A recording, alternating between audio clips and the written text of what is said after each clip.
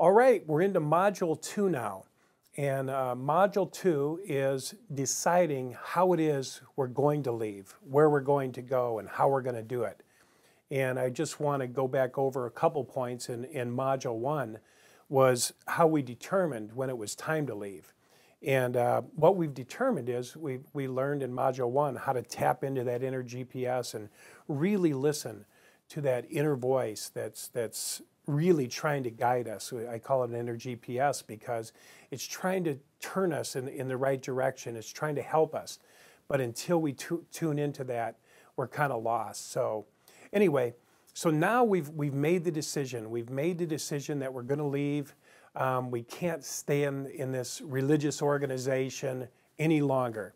And it could be for a number of reasons. And in the video one, you know, I talked about prophecy that, that the, the witness organization uh, had certain prophecies and dates. And, and then when they passed, um, I felt that they were out of integrity with me.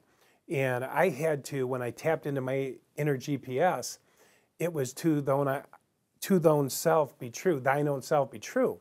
So I had to be true to that, that, that they didn't apologize, that they didn't say they're sorry, they just move from one prophecy to another and expect us all to just follow blindly. And I couldn't do it. But I just want to say there, there could be a, a hundred reasons for leaving uh, your religious ideal. There, you could have been a victim of abuse, sexual abuse. Um, that's really rampant today. Um, it could be a number of reasons. Um, I don't even want to go into them all, but you will have your particular reason for, for journeying out or not being able to continue on in this organization. And I don't know what that particular thing is, but when you're ready, you're ready. And what I want to say about being ready, um, the thing that I had to discover was that when I was ready, that didn't mean anybody else was ready when these prophecies passed, this generation prophecy, the 1975 prophecy, when the Jehovah's Witnesses said the world was going to end, and it did not.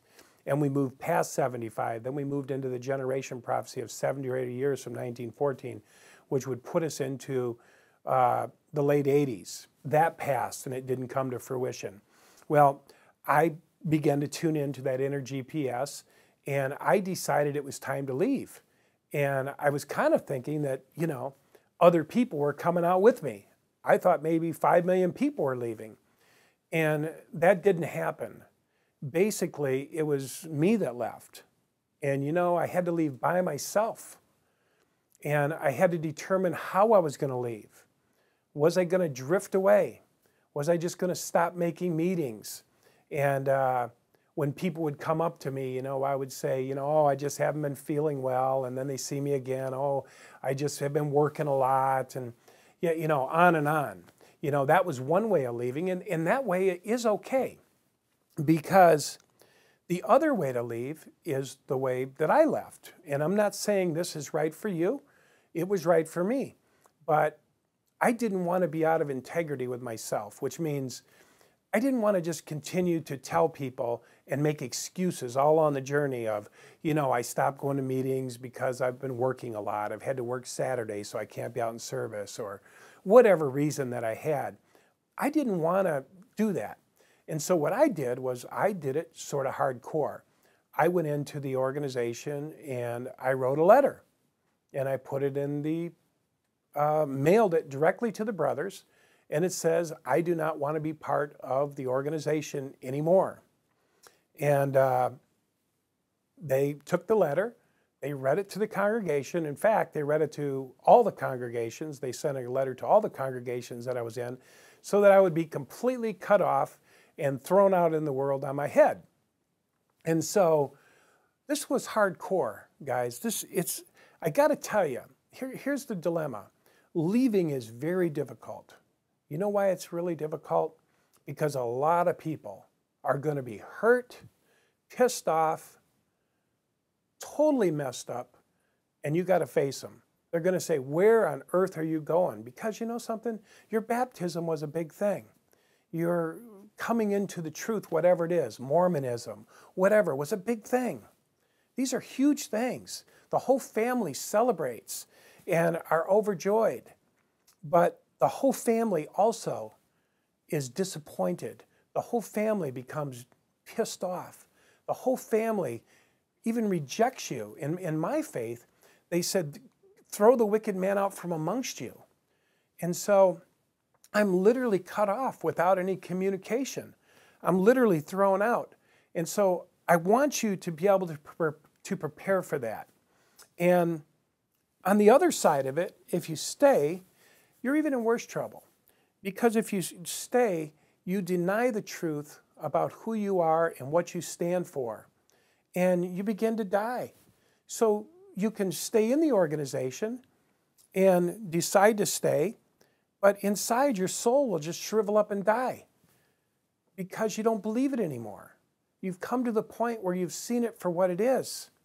And that could be, like I said, a number of things for anybody. So here you are at a huge precipice. You know, you're going to either drift away, which is just fine. If you want to drift away, you might even move away. And uh, that's sometimes a little softer, a little easier. It's sometimes easier for people just to see their old brothers and sisters and say, hey, you know, I haven't been around, I've been working or whatever. And, uh, and just leave it at that and move on. And they'll think, oh, you just fell away and you got weak and you're just a weak Christian. Um, that's one way.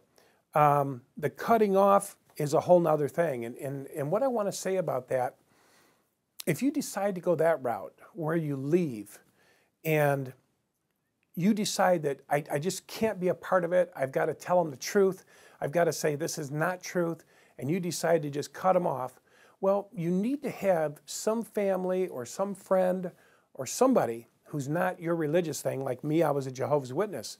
So I needed to have somebody, somebody at my work, somebody maybe in another religion, uh, what, another faith, that was my friend that I could talk to. Because in leaving, you're going to go on a roller coaster ride of depression.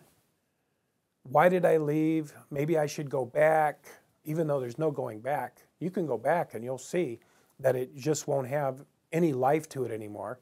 You just be going back and going through the motions. So you have to move forward. You've got to move forward here.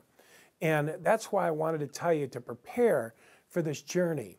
And the journey is going to be one of being a little bit alone. You're going to be alone for a while.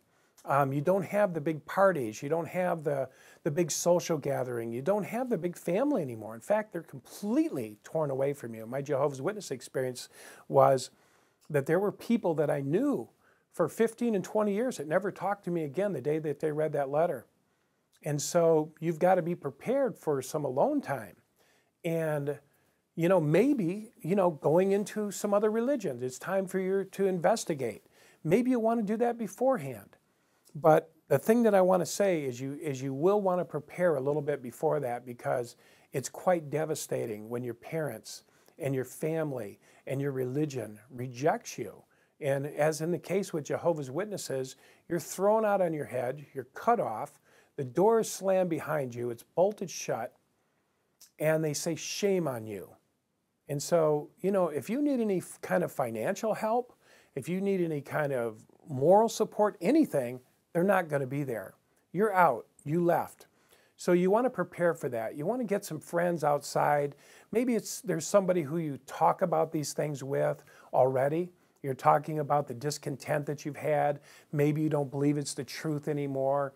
Maybe you have a best friend that you share these things with. You want to make sure to do that and keep those friendships alive. And I can tell you something.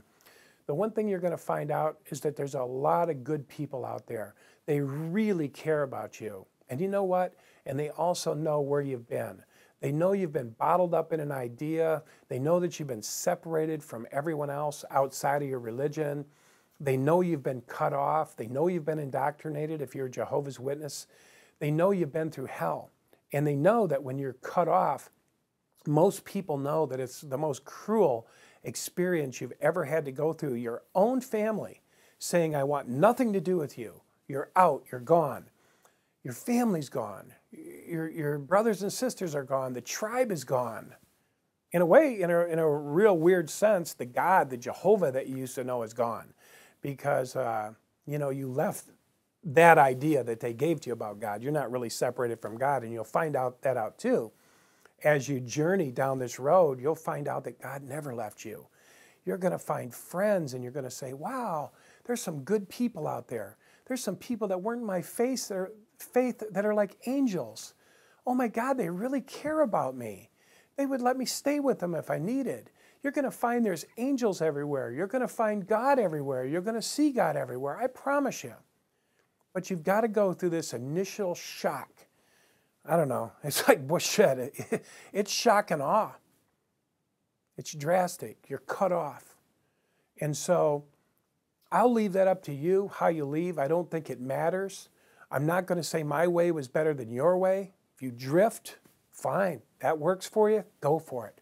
If you cut it off and you want to tackle it hardcore and be cut off, God bless you there too. But just know that there's no other way. And this isn't only Jehovah's Witness, this is Mormon, this is so many other faiths. It don't matter if it's Catholic. If you left the tribe, you left the tribe. It's bad news. But the fact of the matter is, if you stay, it's bad news for your soul.